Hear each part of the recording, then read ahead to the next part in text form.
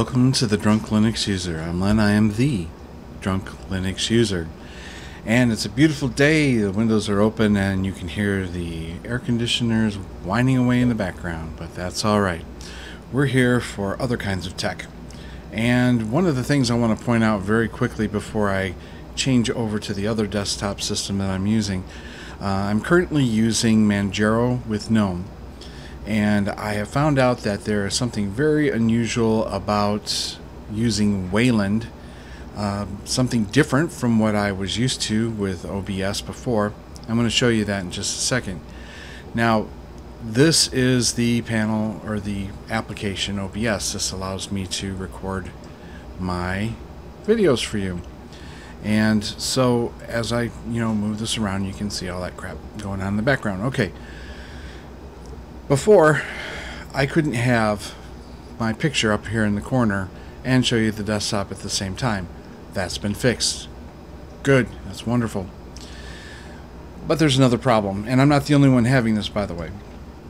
When you go into settings and you go into hotkeys, you can see that I have set up for recording to start number pad key number five and to stop number six. And when I want to change my scenes, I go from number pad one to number pad two. Okay? When you go over to Wayland, and I'll get there in just a second, those options don't stick. They don't work.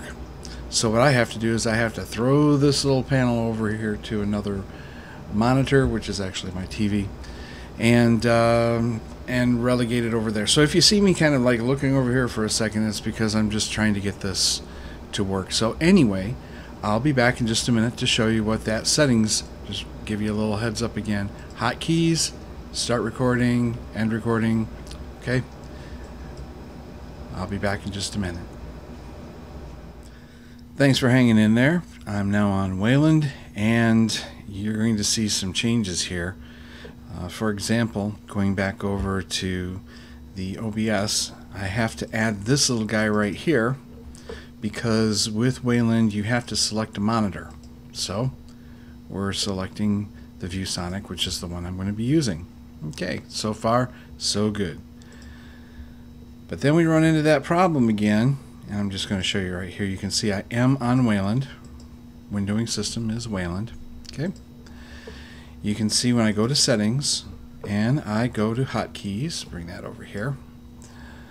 Start recording is not listed. And if I try to put anything in there, it just kind of boogers everything up for the X window system. So what I have to do at the moment, I'm just going to cancel all this because hotkeys are virtually of no use to me at this point, is I throw, whoops, I almost threw the whole thing away, didn't I?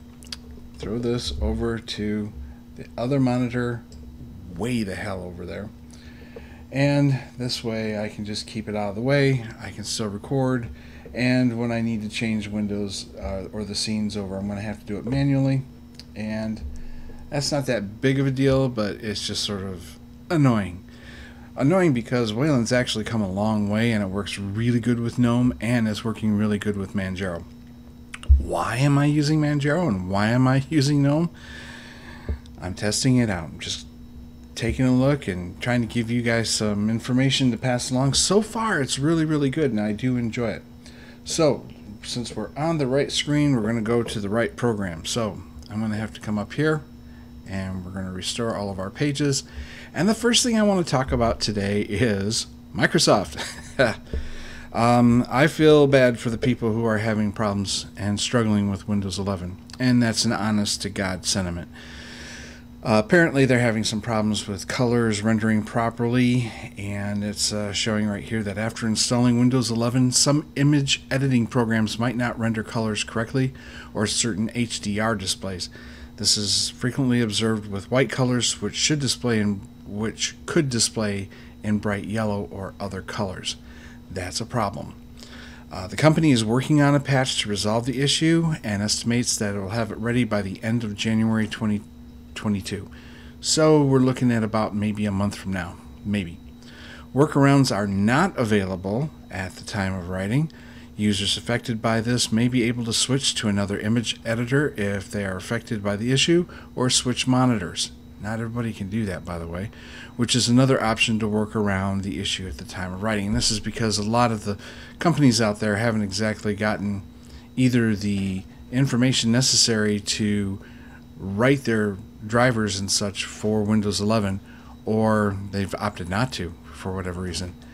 Um, the issue has only been confirmed to affect Windows 11 devices. Windows 10 devices are not affected by the issue, according to Microsoft. I have a workaround. Um, maybe now's a good time to try to spin up one of those um, live thumb drives of a Linux system and seeing if you can go ahead and print. You can either do it off the thumb drive and use it as a system, or you can actually set up a virtual machine within Windows and see if maybe you can run it and use it properly from there. Give it a shot. Heck, if you're using something like um, GIMP or Inkscape and you're being affected by this, it's available in Linux. Go ahead, give it a shot. See if you can use it. So that's my pitch for Linux for today. And again, I do feel bad for the uh, Windows people. It's it's not an easy thing to have to go through, especially if you're working on a production machine. You have specific software you need to run. Um, here's something new. It's called the Maui kit, and it's kind of developed uh, around the Qt framework. And I do believe that this is part of uh, the KDE systems. And what they're doing is, is they're making something available for uh, cross-platform. It's a way of being able to run off a computer, tablet, phone, and it's all going to look identical. You can run the same apps on each one of these. It's cross-platform, as I mentioned, and it's uh, supposedly a fast way of being able to turn your work around as well. So if you're a developer and you're curious, they're starting out with this. It's not exactly you know 100% up to speed yet, but it's something you might want to tinker around with. Um, in their blog, you can kind of see some of the pictures that uh, that they're showing of how these things are looking between systems. And let's go ahead and take a look at this one right here to see if it's got a better picture in there. And of course you can't click on the picture apparently. Ah, maybe we can do this one. Nope, we can't. Anyway, Maui. Uh, it does remind me a lot of GNOME in some respects. And it has been also said that it looks a little bit like Mac OS. So it's kind of a blending of the two, or maybe something that they're trying to come up with that will maybe eventually change down the road, but this is where we're at with that.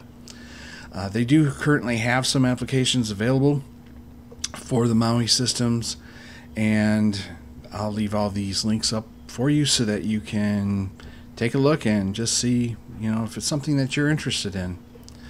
See, here's here's uh, their their music app and apparently this can run on computers, tablets, and phones. Sort of like a one size fit all. If if Google Chrome could be Maui, Maui would be Google Chrome or something like that. Um, for those who are interested, there's a new beta for LibreOffice. It's 7.3 RC1. RC stands for Release Candidate 1. It's available for testing, and they're supposed to have much better improvements with import and export to Microsoft Office, Doc, DocX, Excel, SX, and PPTX, which is always a good thing. If you want to play with it, go ahead and download off from their website, which is going to be LibreOffice.org. It's a little windy out right now. All right, so that is something to play around with if you're interested. And uh, bring that back up.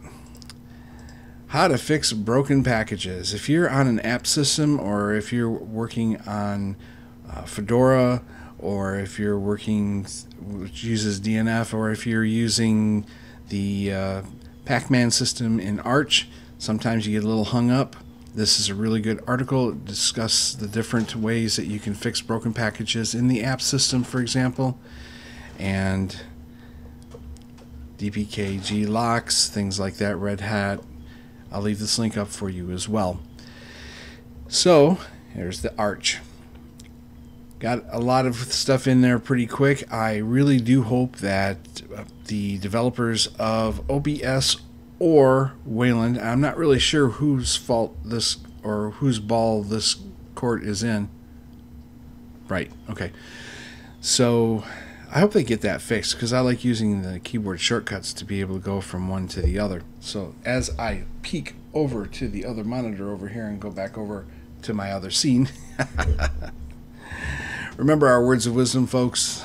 Don't drive drunk. Don't drink and drive. Don't go to eBay or Amazon all buzzed up thinking you're going to buy the coolest stuff because you probably won't. Bottoms up. Later, dudes. Boy, it is a beautiful day outside. Beautiful. Wish you were here in your own place.